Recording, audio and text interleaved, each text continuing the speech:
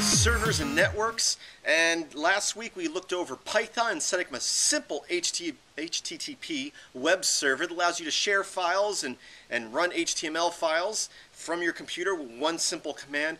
Well, this week we're going to be looking at something similar, but we're using Python that allows you to use CGI to run uh, server-side scripts. So if you want to use Python or C or or bash scripts or whatever you want to run on your server and have the output go to the web, uh, web browser of the end user, we're going to learn how to set that up really quick using Python uh, and uh, its CGI web server. So thank you for watching. Be sure to click on the annotation for that tutorial and learn how to do that. As always, I thank you for watching and I hope that you have a great day.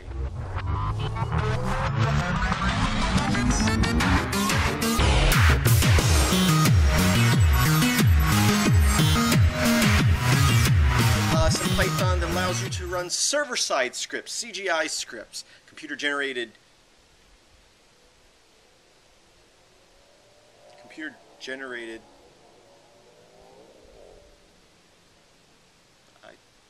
I'm going to skip that part.